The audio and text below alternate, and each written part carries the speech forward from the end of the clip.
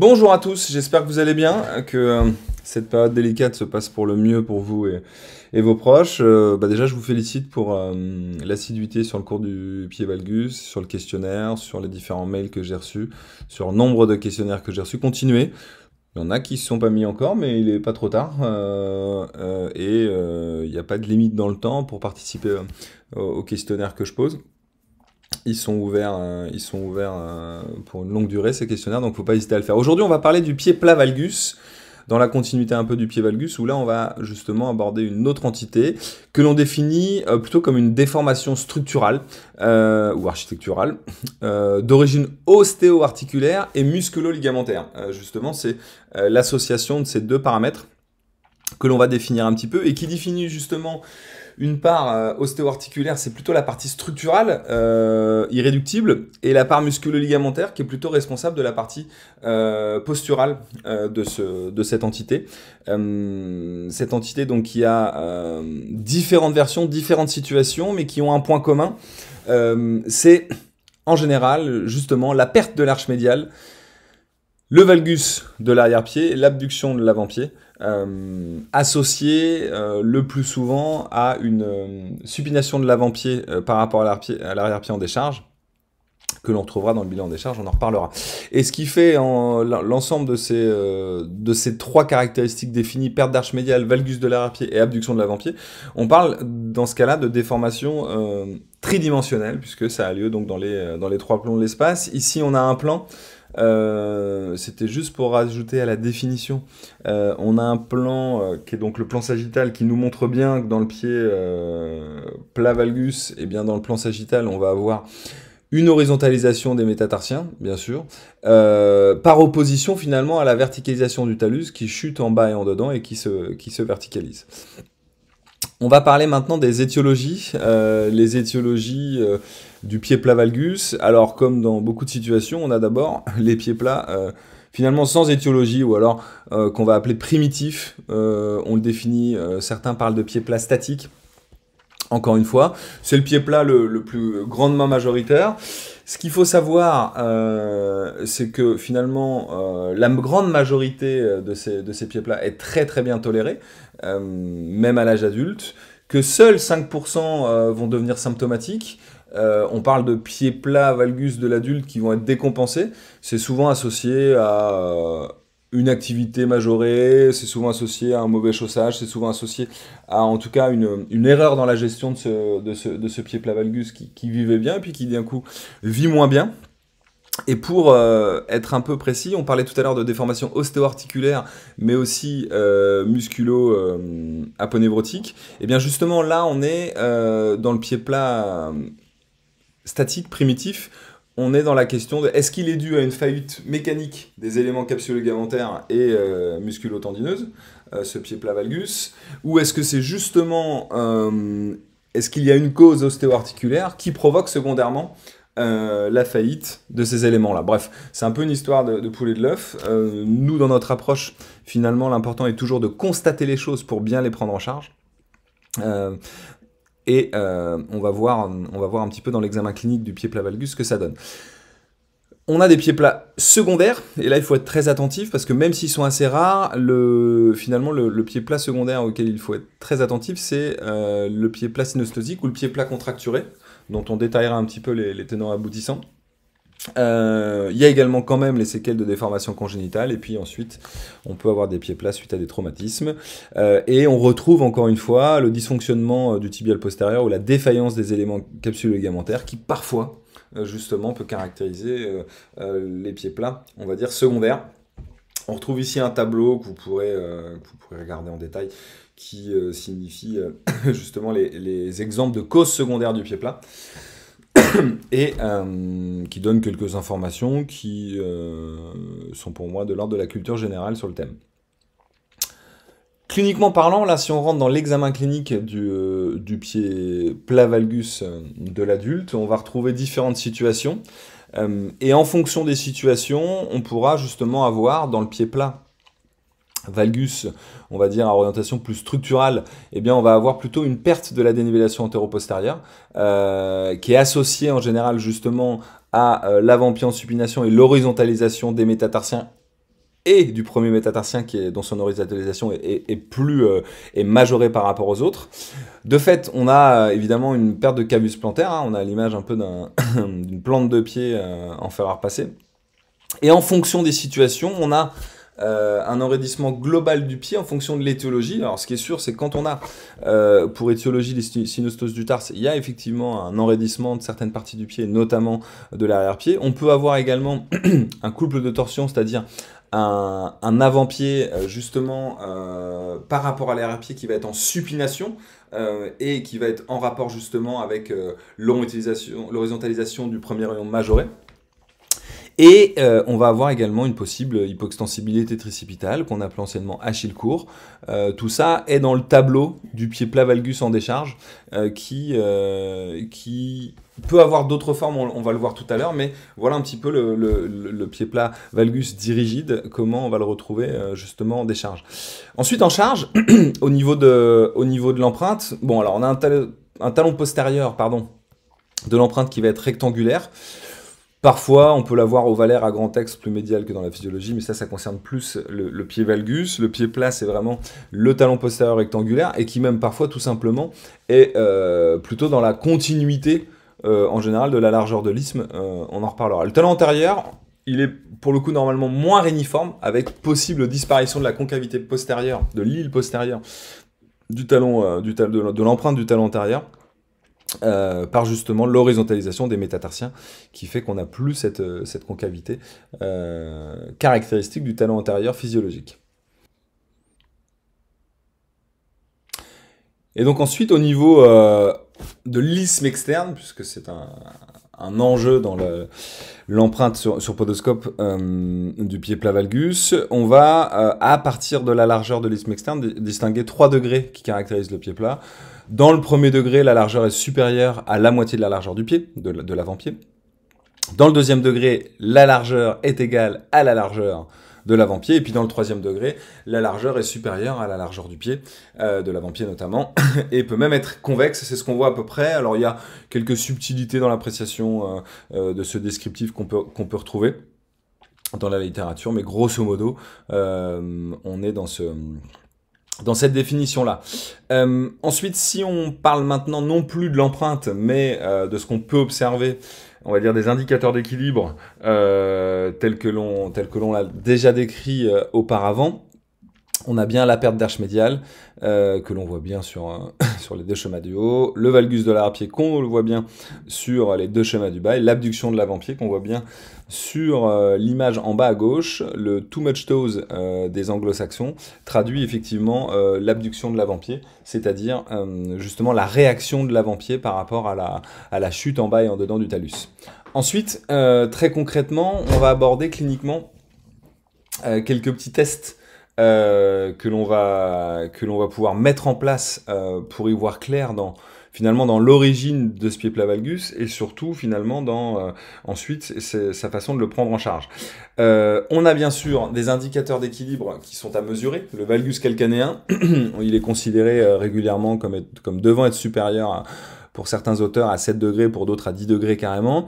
Euh, on a une caractéristique euh, qui est non systématique, qui est la convexité de la face interne. Ça, c'est systématique, pardon, mais avec présence des trois saillies, des trois malléoles, ok, à savoir la saillie de la malléole interne, la saillie de la tête du talus et la saillie de l'os naviculaire, qui peut être euh, représentée de façon sous-cutanée.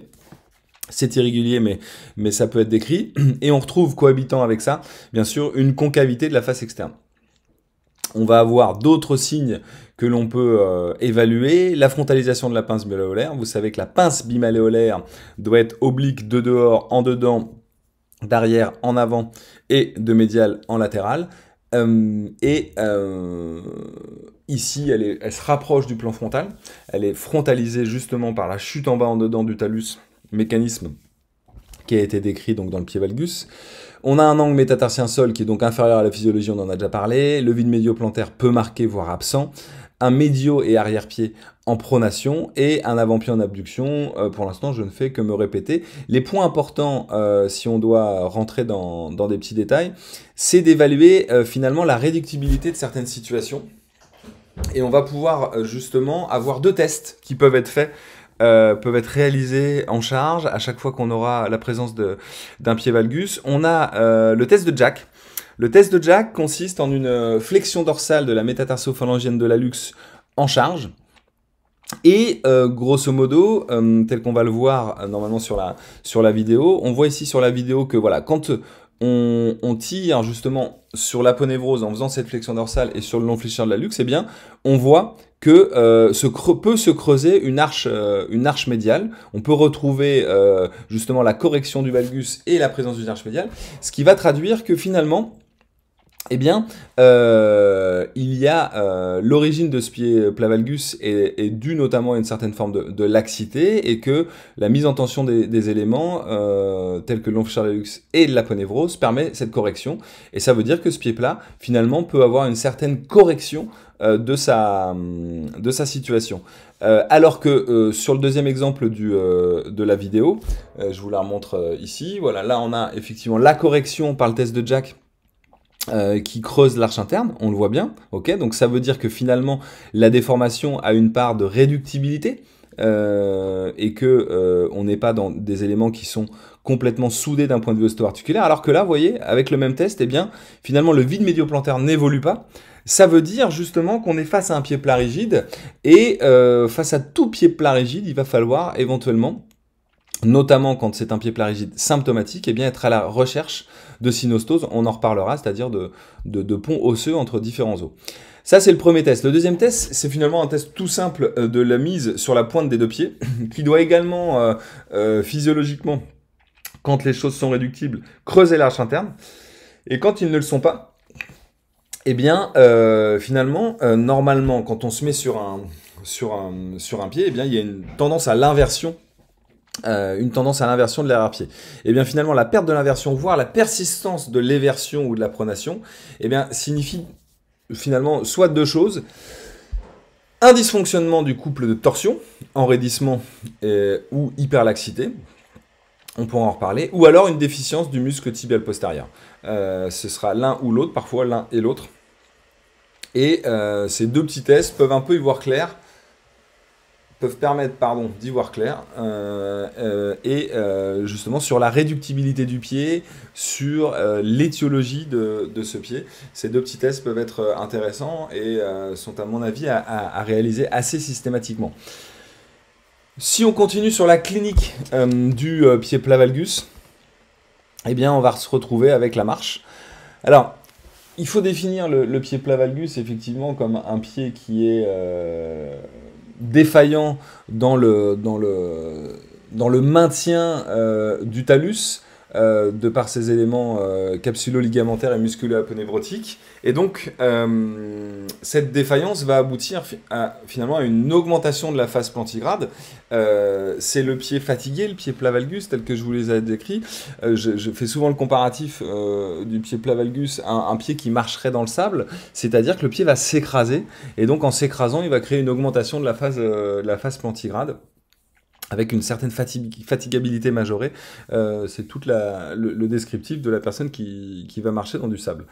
Euh, l'angle du pas ouvert, normalement, eh bien, euh, on va avoir régulièrement, par l'abduction de l'avant-pied, ça sonne partout, pardon, par l'abduction de l'avant-pied, eh bien, on va avoir normalement une, une, ouverture de l'angle du pas, justement par le pied qui, on va dire, qui, qui, se casse en deux, c'est-à-dire que l'avant-pied qui part en abduction par rapport à, au, au, au médio arrière-pied. mais attention, ça c'est s'il y a l'unique influence du pied plat valgus euh, sur, sur justement cet angle du pas. Mais si c'est associé à un trouble rotationnel, comme l'antétorsion fémorale qui a une tendance à fermer l'angle du pas, ou l'hypertorsion euh, tibiale qui a une tendance à ouvrir l'angle du pas, et eh bien les choses peuvent être euh, qui peuvent être changées. La poussée valisante du médio-pied va entraîner régulièrement, notamment si elle est notable, eh bien, une rotation interne systématique du membre inférieur qui pourra aller euh, justement euh, jusqu'à la, convergence des rotules, euh, traduisant réellement la rotation interne du membre inférieur. Voilà un petit peu pour la clinique, du, pied valgus, du pied plat valgus. C'est un petit peu dur ce matin, mais on continue. Tiens le coup. on va parler maintenant d'examen complémentaire. Rappelez-vous, on l'avait vu sur le pied creux. on l'avait vu sur le pied creux. voilà quelques normes radiologiques d'un pied physiologique en charge. Et finalement, dans le, pied plat valgus, eh bien, on a un peu tout l'inverse. Euh, que dans le pied creux, c'est-à-dire que là on a un angle de John qui est supérieur à la physiologie, ok, euh, tel qu'on le peut voir ici. Euh, les deux axes rouges traduisent un angle qui va être supérieur à 130 degrés régulièrement dans le cadre du pied plat. On a une perte de l'axe de Mearitomeno. Rappelez-vous de cet axe qui doit normalement passer par l'ensemble et des os de la colonne interne, le talus, le l'os naviculaire, le premier cuniforme et le premier métatarsien, normalement sont alignés. Là, on voit justement qu'il y a la perte de cet axe-là, ok, avec un angle ouvert en haut. On a également associé à ça, et ça va un peu de pair, la verticalisation du talus, c'est-à-dire une augmentation euh, de l'angle tibiotalien, alors que dans le pied creux, on avait plutôt une réduction. Et puis on retrouve l'horizontalisation du, calcaneus, on peut revenir là-dessus, l'horizontalisation des métatarsiens, euh, et une augmentation de la divergence talo-calcanéenne dans tous les plans. C'est-à-dire que euh, l'articulation subtalaire ou talo-calcanéenne, eh bien, a une, certaine orientation dans le plan frontal et dans le plan sagittal, qui est euh, justement augmentée, cette, cette orientation, on parle de divergence talo-calcanéenne, avec notamment la chute en bas en dedans euh, du talus par rapport au calcaneus et la verticalisation du talus par rapport au calcaneus, euh, et bien dans tous les plans, il y, a une, augmentation de cette divergence-là.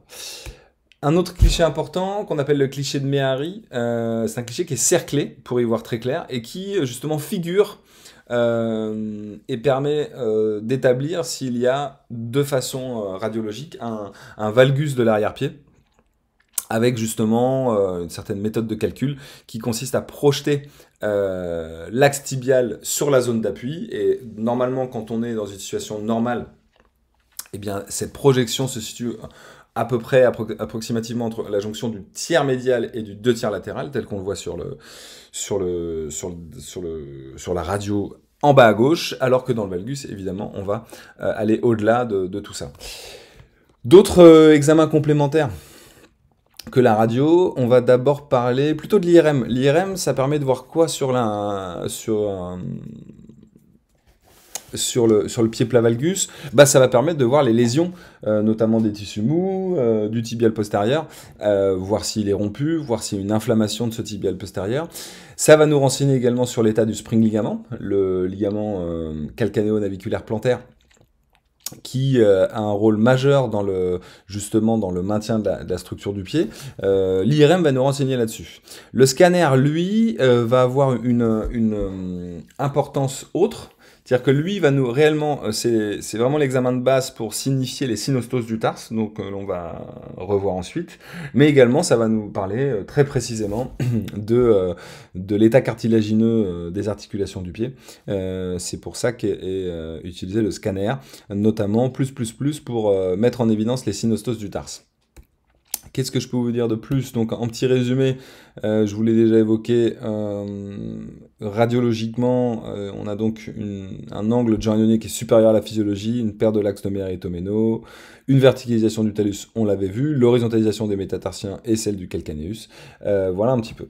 On va parler maintenant pathologie ou évolution de ce pied plat valgus. Alors, ce qu'il faut savoir, comme je l'ai déjà évoqué, c'est que, euh, eh bien, bon nombre d'entre eux sont, sont, sont, très bien, sont très bien, vivent très bien. Et on parle de pieds plats qui sont bien compensés et, en fonction des situations, peuvent se décompenser.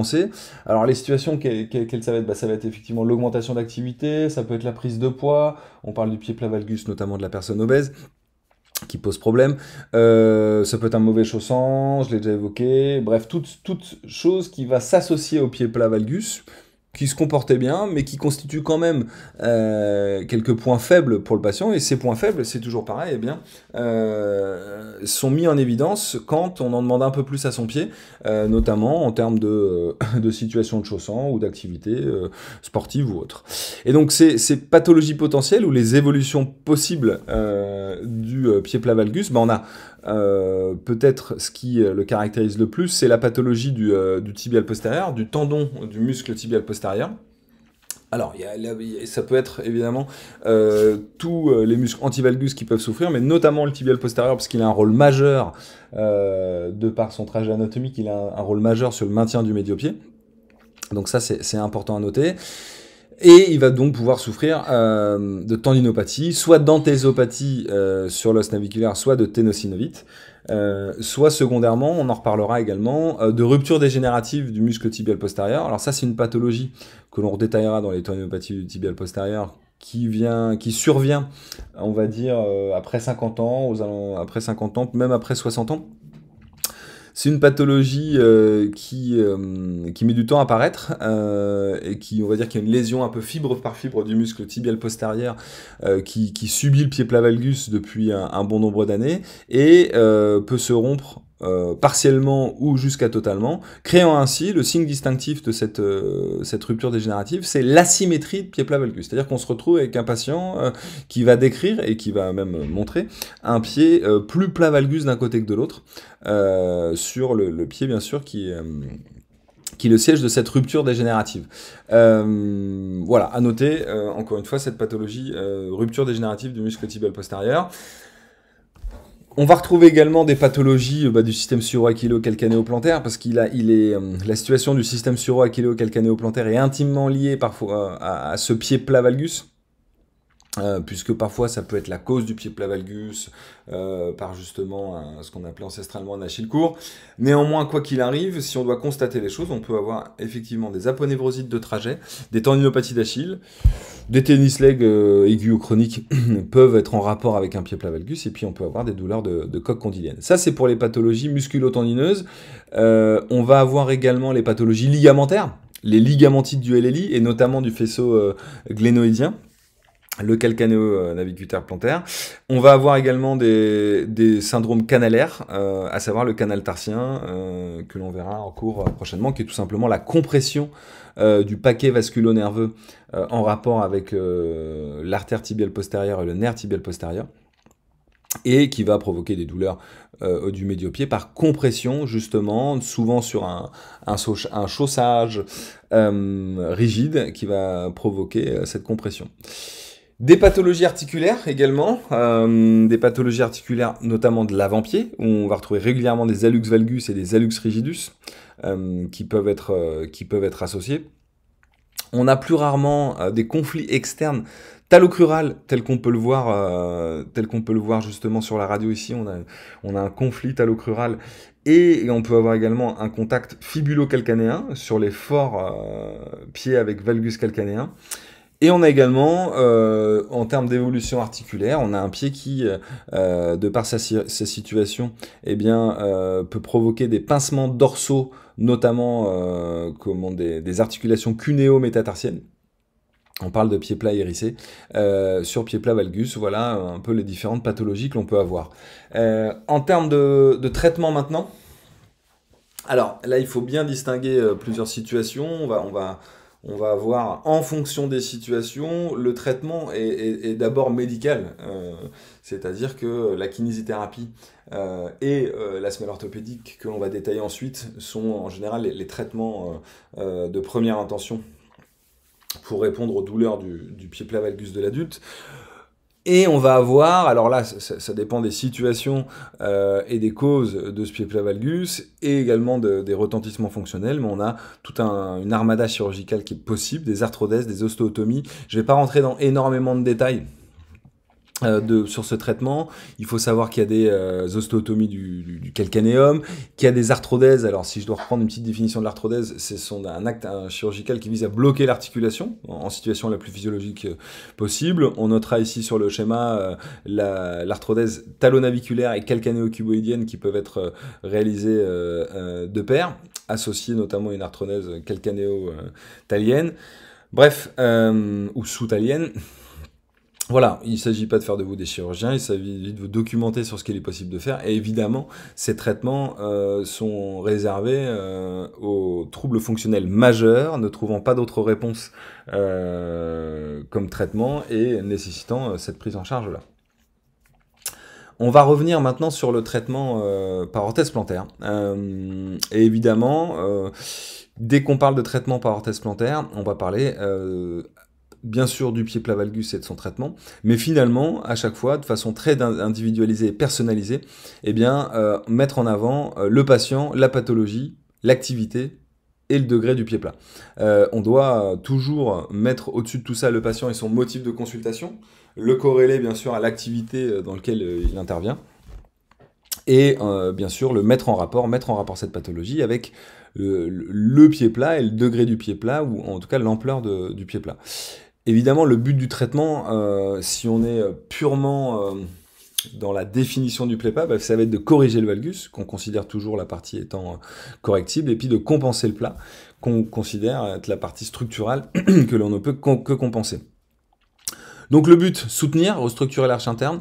Euh, entre soutenir et restructurer, effectivement, on est dans, l'appréciation de la possibilité de, restructurer l'arche interne dans le cas d'une certaine laxité et de la soutenir si jamais euh, la structure de l'arche interne est, complètement irréductible. Ensuite, évidemment, on va essayer de limiter la poussée valgisante, et puis, euh, notamment, dans le cadre des pathologies musculo-tendineuses type de tendinopathie, on va avoir besoin de différents éléments. Un coin supinateur postérieur euh, pour prendre en charge le valgus de l'arrière-pied. En général, on est sur des matériaux euh, de dureté short assez importante pour euh, vraiment pouvoir avoir une correction notable du trouble, avec des hauteurs qui vont parfois de 8 à jusqu'à 10 mm parfois dans les, les cas les plus sévères. La valeur moyenne se situe entre 6 et 8 mm. Cet élément, il agit en taligrade, il agit en début plantigrade, et bien sûr, il va être très intéressant dans les situations de piétinement. Il est un peu moins actif euh, dans les situations dynamiques les plus poussées. Imaginez un pied plat valgus qui court euh, sur l'avant-pied, s'il peut le faire, et eh bien forcément le CSP euh, va pas être très utile. On va en reparler. l'hémicoupoles ensuite, l'hémicoupoles interne. eh bien, elle, c'est elle qui va vouloir restructurer le le médio-pied ou le soutenir. Euh, c'est subtil. Euh, euh, l'objectif est double en fonction de la caractéristique du pied plat. Et là, bien sûr, on est sur, si on parle de semelle classique ou à, à éléments individualisés, eh bien, on est évidemment dans la nécessité de, de choisir des matériaux qui assurent à la fois une correction suffisante, mais euh, également euh, assurent, du confort, notamment dans les pieds plats les plus, les plus rigides et les plus irréductibles. Et enfin, un autre élément, l'élément supinateur antérieur, lui agit en digitigrade. Il poursuit l'action initiée par le CSP et l'HCI. Et évidemment, je faisais le parallèle tout à l'heure entre le le, piétinement et la course à pied, lui, euh, c'est quelque chose qui est euh, nécessaire dans les activités euh, dynamiques, où il va être très pertinent et très utile, notamment pour les pathologies, alors les, pathologies du pied d'une part, mais aussi les pathologies qu'on considère à distance du pied plat, quand on considère qu'un pied plat valgus est finalement a pour conséquence, peut avoir pour conséquence un syndrome fémoro-patellaire par rotation interne, euh, voilà, bah, évidemment, là, l'élément supinateur antérieur est vraiment très important. Il a toujours euh, la nécessité de la disponibilité et de la validité des premiers, deuxième et troisième articulations métatarso-phalangiennes, qui n'est pas toujours le cas justement puisqu'elles peuvent faire euh, partie des, pathologies associées au, valgus, au pied plat valgus, pardon, on l'a vu. voilà une petite vidéo qui montre finalement l'orthèse thermoformée d'inversion, de supination. On va dire que ça, c'est vraiment euh, l'orthèse thermoformée pour un pied plat valgus qui souffrirait d'une tendinopathie du muscle tibial postérieur en course à pied. Là voilà, on a, on, l'a, on l'a de façon décortiquée, c'est-à-dire que j'ai enlevé les, euh, les situations euh, les mises à zéro, on va dire, on va se la refaire, les mises à zéro euh, de la semelle, j'ai enlevé pour, euh, mettre en évidence les éléments importants. Les éléments importants, c'est quoi? Bah, C'est toute la bande supinatrice, c'est-à-dire le CSP, l'HCI et l'élément supinateur antérieur, mais c'est également la butée stabilisatrice qui permet encore une fois de potentialiser l'action de l'orthèse. Donc par cette petite vidéo, c'est mis en relief. Ensuite, on va aborder d'autres traitements. Alors, je reviens un peu sur sur ce qu'on a vu sur le pied valgus. Euh, et là, on est sur le traitement, euh, justement, euh, des différentes situations que je ne vais pas répéter. encore une fois, on a le cas de la rigidus et de la valgus, où on ne mettra pas d'éléments spinatoires et vous rappelez ce qu'on doit faire. On a effectivement, en fonction de la disponibilité des têtes, des variantes, et je vous demande de bien regarder ces, slides en vous rappelant ce qu'on a fait sur le, sur le pied valgus. Pareil, je vous ai remis le traitement bah, finalement le traitement euh, euh, de, la, de, la métatarso-phalangienne euh, du deuxième rayon qui souffre, ok, comme ceci. et voilà, ça je ne rentre pas dans les détails parce qu'on l'a vu dans le pied valgus, mais encore une fois, pourquoi c'est les mêmes slides? Parce que, encore une fois, ce qui prime, ce qui prime quand on appareille un pied valgus ou un pied plat valgus, eh ben, c'est le motif de consultation. Donc on peut se retrouver avec des orthèses euh, qui ont euh, idéologiquement, on les mêmes éléments. Après, c'est le choix des matériaux et le choix euh, des hauteurs qui, qui, déterminent la caractéristique du pied. On va aborder là des formes cliniques du pied plat valgus. notamment le pied plat valgus par hyperlaxité. On l'a dit, il y a plein de causes qui vont vers l'enraidissement, mais il y a aussi le pied plat valgus par hyperlaxité. Euh, et lui, euh, pour le coup, on a une approche complètement différente, notamment de la décharge. C'est-à-dire qu'en décharge, dans le pied plat valgus par hyperlaxité, sous l'action de la pesanteur finalement, on va se retrouver avec presque une analyse du pied en décharge proche du pied creux. C'est-à-dire qu'on a une augmentation de la dénivellation antéro-postérieure, euh, qui peut être justement nettement majorée. Au contraire du pied creux, celle-ci va être complètement réductible, c'est-à-dire que autant la pesanteur fait, tomber complètement euh, euh, l'avant-pied, comme ceci, sauf que quand on essaie de le réduire eh bien, et de replacer euh, les choses, eh bien justement on peut le faire, on a même, au-delà de ne pas avoir de, de dénivellation antéro-postérieure, résiduel, on peut vraiment même dépasser parfois euh, euh, l'arrière-pied en poussant sur l'avant-pied sans faire intervenir la talocrurale. Voilà un petit peu la caractéristique euh, du pied plat par hyperlaxité, c'est-à-dire qu'en décharge, en gros, ça ressemble à un pied creux, sauf que la mobilisation des articulations, eh bien, on va avoir justement une mobilité articulaire excessive et notamment de la colonne interne.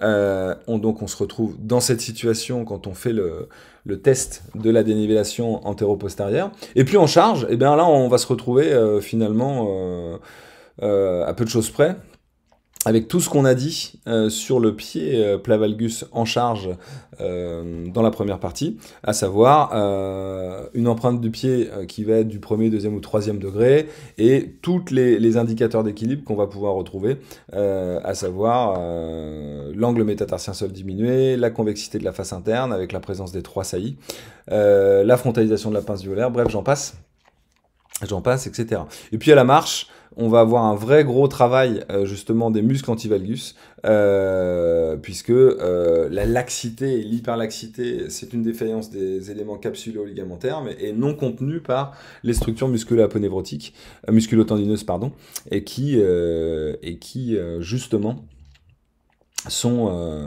sont défaillantes également dans, dans le pied plat valgus par laxité. En termes de traitement de ce pied-là, bah, la grosse différence, c'est que lui, on peut le restructurer complètement. C'est-à-dire qu'on peut le, le, le, modeler, euh, on peut le modeler complètement dans la position qu'on veut, euh, puisqu'il est hyperlaxe. Et donc, une bonne stratégie euh, régulièrement, c'est de, de faire cette euh, l'orthèse en fonction du motif de consultation. Une bonne stratégie, c'est peut être de, de, choisir le thermoformage, euh, et notamment le thermoformage en semi-charge peut être utile puisqu'il permet euh, de, positionner le pied exactement comme l'on veut et de prendre un moulage finalement euh, de, du pied dans la situation complètement euh, restructurée et physiologique pour ensuite lui appliquer des renforts permettant de maintenir cette situation. C'est une possibilité. Encore une fois, le traitement par orthèse plantaire du pied plat valgus par hyperlaxité sera aussi fonction du motif de consultation et c'est ça qui doit être encore une fois mis en mis en premier, euh, en premier lieu dans le traitement euh, de, euh, du pied plat valgus par hyperlaxité. Ensuite, une autre forme clinique que l'on peut, que l'on doit même développer parce qu'elle est pas très fréquente, mais elle est vraiment symbolique du pied plat rigide et face à une situation bien spécifique, on doit pouvoir, on doit être attentif justement euh, à quelques petits points pour avoir une prise en charge pertinente. C'est le pied plat valgus contracturé. Alors le pied plat valgus contracturé, il est en rapport avec les synostoses du tarse euh, et la contracture euh, des fibulaires et notamment du cours fibulaire. Les synostoses du tarse, qu'est-ce que c'est? C'est finalement une fusion de deux os qui ne devraient pas être soudés. Et donc, en gros, euh, on va retrouver euh, des synostoses euh, osseuses. Donc, justement, quand elles sont complètes, ces fusions, on parle de, de, fusion osseuse et on parle de synostose. Et quand elles sont incomplètes, elles sont soit cartilagineuses, et on parlera de synchondrose, Et elles sont soit fibreuses, et on parlera de symphibrose ou syndesmose parfois. Alors, ce qu'il faut retenir de ces synostoses, syncandroses et symphibroses, eh bien, c'est euh, d'abord qu'elles peuvent être bilatérales dans, 50, elles sont bilatérales dans 50% des cas, que les plus fréquentes sont calcanéonaviculaires, euh, ou soutalienne. On avait une belle image de synostose, je reviens, voilà. Euh, bah d'ailleurs, voilà, la calcanéonaviculaire, que l'on voit aussi bien en radio qu'en dessin, euh, sur les parties du haut. Euh, également là, on a en image radio ce qui semble être une synfibrose et une synchondrose. Alors je reviens sur ce qu'on disait tout à l'heure, c'est le scanner. Hein. Vous voyez l'image de, scanner complètement à droite avec marqué euh, synostose talocalcanéenne. Là, on est pour les talocalcanéennes. On voit justement où il y a les petites flèches, qu'il y a une fusion où il ne devrait pas y avoir. Donc on parle de, de synostose talocalcanéenne et c'est le scanner qui les met en évidence. Euh, parce que quand elles sont osseuses, elles peuvent être visibles radiologiquement, mais quand elles sont cartilagineuses et euh, fibreuses, eh bien, elles ne seront visibles que au scanner, euh, plus précisément. Bon voilà, ça c'est juste pour savoir. C'est pour ça que dans la prise en charge du, du pied plat valgus par un, pied plat valgus contracturé, eh bien, en cas de doute, radio plus scanner sont déjà les éléments pour assurer une bonne prise en charge. Ensuite, en termes de descriptif clinique, euh, ce, pied plat valgus, donc déjà, il concerne l'adolescent. Et c'est là que c'est intéressant parce qu'en général, l'adolescent, c'est quelqu'un d'asymptomatique, sauf s'il fait euh, du sport de, compétition. Euh, un adolescent, au niveau du pied, il n'a pas grand-chose comme, comme, pathologie. Plus jeune, il va avoir la maladie sévère ou Drenander. un adolescent qui fait beaucoup de sport, il va plutôt développer Osgood-Schlatter au niveau du genou. mais là, justement, on est face à un adolescent qui d'un coup décrit des crises douloureuses aiguës à la marche. C'est souvent suite à un petit excès d'entraînement, un petit, une petite majoration de l'effort, et puis euh, les synostoses deviennent bruyantes. Et elles sont bruyantes euh, pas forcément dues euh, à la majoration de l'activité, mais parce que justement elles s'ossifient. Et c'est au moment de leur ossification qu'elles vont engendrer des douleurs, euh, localisées au niveau du médio-pied, notamment dans, dans la partie antérolatérale, et associées à une contracture des fibulaires, et notamment du court fibulaire. Donc c'est ce qu'il faut retenir, hein. c'est synostose, contracture des, fibulaires euh, et douleurs vives euh, à la palpation de la synostose. Et si on, est, essaye de réduire euh, justement le valgus, eh bien ça, ça, déclenche des grosses douleurs.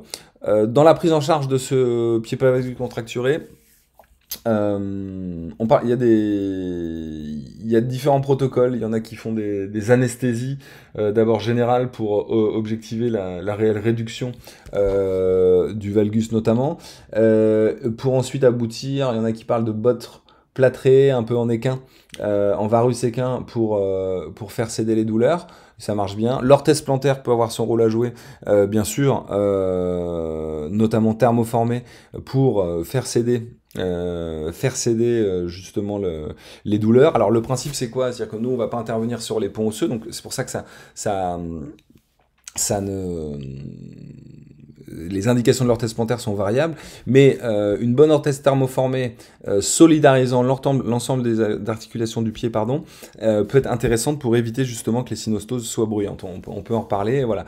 Après, c'est la chirurgie qui va consister, alors c'est pareil, il y a des, on peut couper ces ponts osseux, mais c'est pas tout le temps, c'est pas tout le temps très pertinent. Ou alors il va y avoir, on retrouve la nécessité de faire des arthrodèses telles qu'on a vu dans le, traitement chirurgical. Voilà un petit peu euh, de façon euh, assez détaillée le pied plat valgus. Il y a d'autres formes cliniques qui existent. Euh, mais je pense qu'on a couvert l'essentiel. Il y a d'autres formes cliniques qui existent. Je vous encourage, et je vais mettre également sur la plateforme des, extraits de, de l'EMC qui, qui constituent des articles très intéressants qui vont redécrire des choses avec certaines subtilités et je le rajouterai également sur, la plateforme. Voilà. Euh, merci de votre attention. Difficile, hein euh, J'essaie justement de ne pas avoir de coupure dans le cours, de le faire comme si on était euh, dans l'amphi en, n'arrêtant pas de parler. je sais pas ce que ça donne concrètement et je vais pas me réécouter. Je fais mon, je fais mon cours en, un one-shot. Je m'excuse en tout cas euh, des petits bafouillements qui me sont caractéristiques. voilà, j'espère sincèrement qu'au moins c'est compréhensible. N'hésitez pas à poser des questions. Si vous comprenez rien, on peut échanger par mail. Je peux le refaire. Vous avez le droit de me dire, m'envoyer un mail. Bonjour, monsieur, est-ce qu'on on comprend rien à votre cours là? Est-ce que vous pouvez le refaire? Je peux le tenter. Euh, donc voilà. Euh, donc voilà. Prenez soin de vous encore une fois. Euh, sortez pas trop, le moins possible. Protégez nos soignants qui sont qui sont sur le front et prenez soin des personnes qui vous entourent. Justement, en ne sortant pas et n'hésitez pas à m'envoyer des mails pour les choses que vous n'avez pas compris. Je vous souhaite une très très bonne journée. À très bientôt. Merci.